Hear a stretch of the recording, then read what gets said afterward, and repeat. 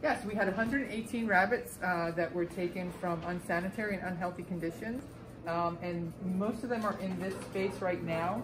Uh, some of them are still in the process of being moved out because many of them had to be in isolation due to respiratory infections. Uh, so right now we only have about eight rabbits that are still having to be quarantined. Uh, and shortly everyone will have their spay neuter completed and at that point they can be made available for adoption. We're also working with several other rescues and shelters to be able to uh, move them into other places where they have a great opportunity to get adopted as pets.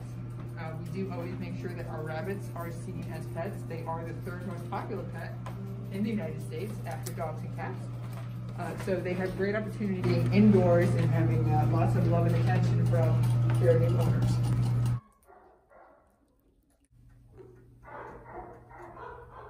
Hi, buddy. I know you're very friendly.